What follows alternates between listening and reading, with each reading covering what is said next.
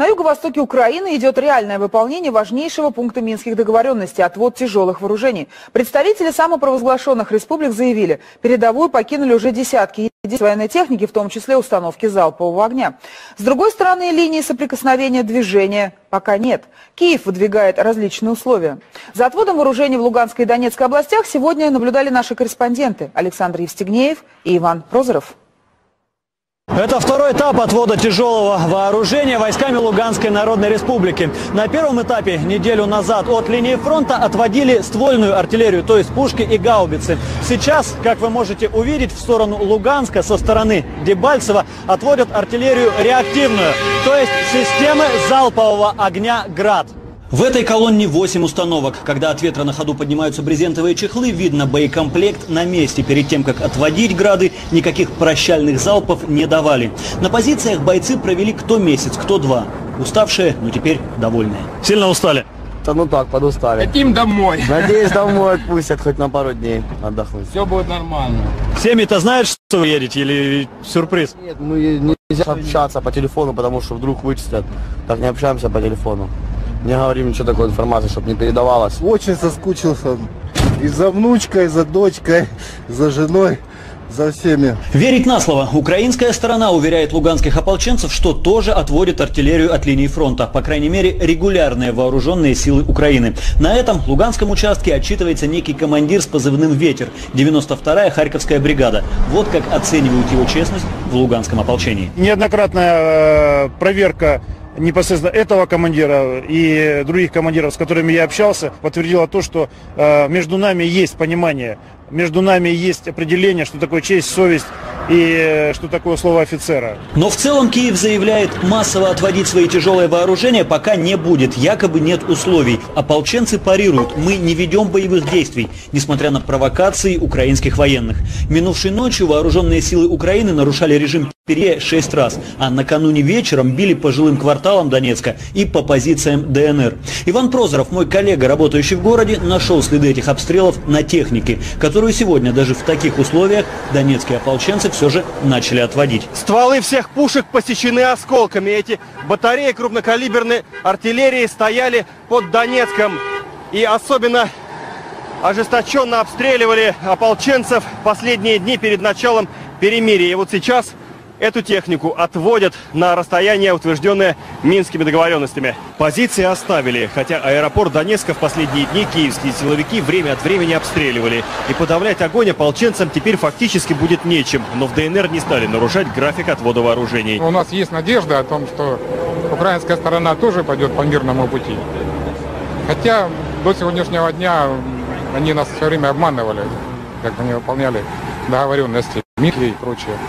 Поэтому ну, мы надеемся о том, что у них, они образумятся. Две батареи дальнобойной артиллерии, 10 орудий меньшего калибра вывозят в сторону Амвросиевки. Вместе с техникой позиции покидают все ополченцы, которые там находились. Фактически в чистом поле, месяцами. Домой поеду к семье, к сыну к своему, 7 месяцев.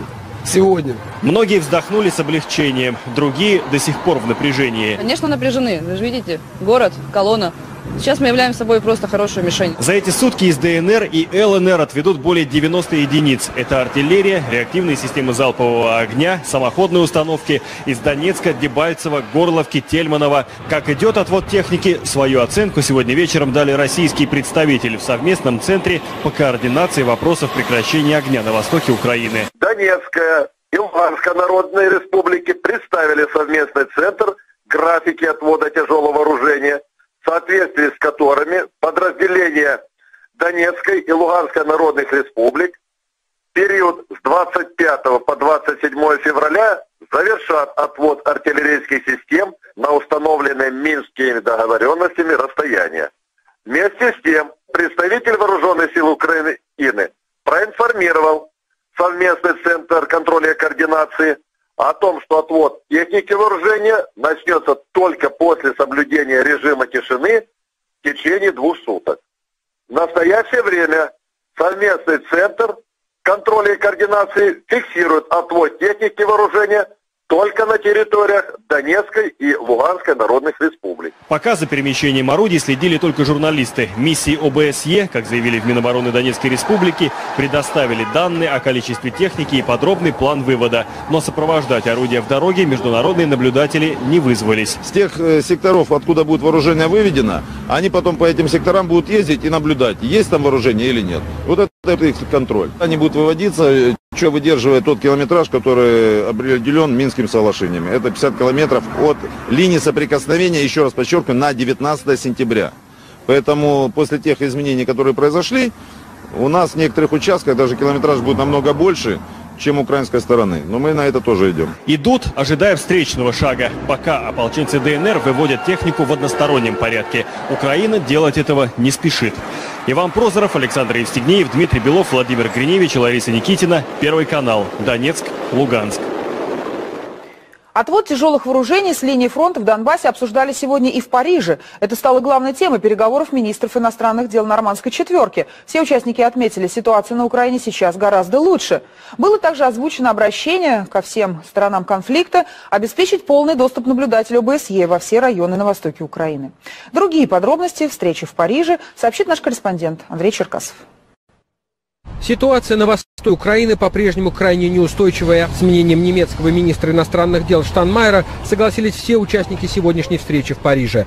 Главы внешнеполитических ведомств Франции, Германии, России и Украины впервые после долгих минских переговоров лидеров стран нормандской четверки обсуждают, как на деле выполняются принятые договоренности отвод тяжелой техники с линии фронта, соблюдение режима прекращения огня и, конечно, политическая реформа с учетом интересов жителей восточных районов Украины. Все это темы трехчасовых закрытых переговоров во французской столице. Мы подтвердили необходимость для контактной группы как можно скорее заняться практическим рассмотрением других вопросов, упомянутых в минских документах от 12 февраля. Прежде всего, это политический процесс, подготовка выборов, рассмотрение задач э, конституционной реформы, но в качестве особого приоритета мы подчеркнули необходимость налаживания все-таки диалога по вопросам восстановления социальных, экономических связей, банковских услуг населению э, территорий, которые сейчас находятся под контролем ополченцев. В Донбассе продолжает работать миссия ОБСЕ, но ее сил явно не хватает. Представители ополченцев раньше не раз заявляли, полномочия наблюдателя необходимо расширить. ОБСЕ важно не просто фиксировать факт нарушения договоренностей, но и выявлять причину этого. Министр иностранных дел стран нормандской четверки готовы продлить еще на год и значительно расширить мандат миссии европейских наблюдателей. Вся необходимая техническая и финансовая помощь будет оказана в ближайшее время. Министр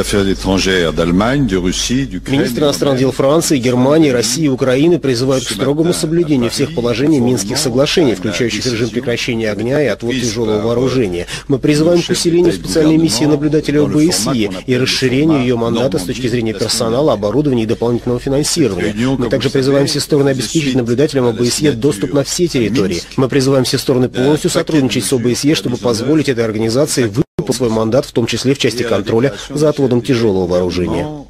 Вопрос изменений в мандате специальной мониторинговой миссии ОБСЕ на Украине, в том числе и увеличение числа наблюдателей, будет обсуждаться в ближайшие недели. О возможных поставках летального оружия Киеву из европейских стран, на чем настаивала украинская сторона, министры не обмолвились ни словом. Но отдельные источники, близкие к сегодняшним переговорам в Париже, сообщили, что эта тема все же обсуждалась и поддержки не нашла. Германия и Франция уже не раз выступали против. Поставки оружия украинским властям могут иметь непредсказуемые последствия. Главы внешнеполитических ведомств стран нормандской четверки вновь обратились ко всем участникам конфликта незамедлительно прекратить огонь и строго соблюдать все минские договоренности. Контактная группа с участием представителей Киева и народных республик должна работать, ведь от результатов этой работы и будет зависеть продолжение столь непростого дипломатического диалога. Андрей Черкасов и Сергей Мухин, Первый канал, Париж. И вот на таком фоне немногим более часа назад стало известно, что Лондон отправляет в Киев военнослужащих. Об этом заявил Дэвид Кэмерон. Британский премьер пояснил, что они будут обеспечивать подготовку украинских коллег. Кроме того, он дал понять, что королевство готово делиться тактическими разведданными из зоны конфликта. Накануне же в парламенте министр обороны Майкл Феллон говорил, что его ведомство планирует увеличить объем поставок небоевого оборудования и снаряжения. Напомню, через несколько дней на Украине начнут работу американские военные. Эту новость озвучил Бен Ходжес, генерал-лейтенант, командующий американскими войсками в Европе. К ситуации на Украине мы еще вернемся, а сейчас о заседании Президиума Госсовета. Владимир Путин обсудил с губернаторами комплекс антикризисных мер. Президент заявил, необходимо обеспечить максимальную прозрачность в финансовой сфере, а также адресную социальную поддержку. Помощь государства должны получать только те люди, которые в ней реально нуждаются. Подробности в репортаже Михаила Кинченко. Этот разговор на президиуме Госсовета стал продолжением предыдущей встречи Владимира Путина с руководителями регионов в конце января. Тогда президент поручил разработать для каждого субъекта федерации антикризисный план наподобие того, что был принят правительством страны. К 16 февраля с программами действий определились во всех регионах. Пока экономисты изучают детали, глава государства попросил губернаторов не увлекаться одной лишь тотальной экономией, особенно в том, что касается мер социальной поддержки. Механическое сокращение, самый простой но порой недопустимый подход. При этом на первый план выходит принцип рачительного, конечно, адресного использования бюджетных средств. В том числе это значит, что эти ресурсы должны направляться на социальную защиту тех граждан, которые действительно нуждаются в нашей поддержке. Просил бы сегодня еще раз обсудить эту проблему, чтобы в результате выйти на конкретную работающую модель. Мы много раз, много-много раз говорили, бессмысленно размазывать тонким слоем по всему пирогу. Нам нужно оказывать помощь тем людям, которым без поддержки государства действительно тяжело. Определить, кому действительно нужна помощь, а кто может обойтись и без нее, в каждом регионе должны самостоятельно. Но прежде необходимо обновить критерии социальной поддержки. А это невозможно без изменения законов, во многих из которых нет разделения на бедных и богатых. Когда у нас сейчас всем подряд оказывается мера соцподдержки, независимо от того, имеешь ли ты миллионный доход э, в, в год или ты живешь на уровне прожиточного минимума. Это абсолютно несправедливо. И законодательство, к сожалению, не давало нам возможности этого делать. И мы сегодня говорили о том, что надо изменить э, действующие порядки, сделать более э, точечный подход нуждающимся именно группам населения и так далее. Однако одно лишь изменение социальных подходов решает лишь небольшую часть проблем. Большинство регионов в этом году все равно будут вынуждены потратить больше, чем заработают. Значительная часть денег уйдет на погашение кредитов. Многие проекты в промышленности, сельском хозяйстве, дорожном строительстве финансировали коммерческие банки. Но платежи по процентам сегодня стали непосильными и грозят поставить крест на всех планах развития. В прошлом году регионы совокупно выплатили за проценты банкам 120 миллиардов рублей. Если сегодня не предпринимать какие-то меры, то регион, меры, то регионы заплатят в результате по прогнозу 200 миллиардов рублей. Конечно, ну так, э, скажем, по-человечески жалко тратить деньги э, в проценты. Одним из вариантов решения этой проблемы могла бы стать помощь федерального бюджета, например, погашение части кредитов за счет государственных резервов. Но это еще не означает списание долгов. Сейчас разрабатывается мера по замещению рыночных заимствований регионам кредитами из федерального бюджета с одновременным снижением платы за пользование ими. И здесь на нашем заседании нужно оценить, насколько эффективна процедура выдачи таких кредитов и какие дополнительные меры следует предпринять, чтобы сократить долговую нагрузку бюджетов субъектов Российской Федерации. Возвращать долги в федеральный бюджет регионы смогут всего за одну десятую процента в год. Новые же кредиты будут брать в коммерческих банках, причем также по льготной ставке, которая в итоге не должна превышать 9%. Если учесть, что средняя ставка по стране превышает 22%, это серьезная поддержка. И эти финансовые преимущества, отметил президент, необходимо использовать не только на решение текущих задач. Губернаторы не должны забывать и о перспективном развитии, причем уже сейчас планировать даже не на годы, а на десятилетия вперед. Михаил Акинченко, Кирилл Зотов, Ольга Меркулова, Сергей Валетов. Первый канал. Президент сегодня встретился с главой Международного комитета Красного Креста. Владимир Путин и Петер Маурер обсудили общие программы России, гуманитарной организации, сотрудничество с которой продолжается полтора века. Последние годы совместной работы Маурер считает особенными.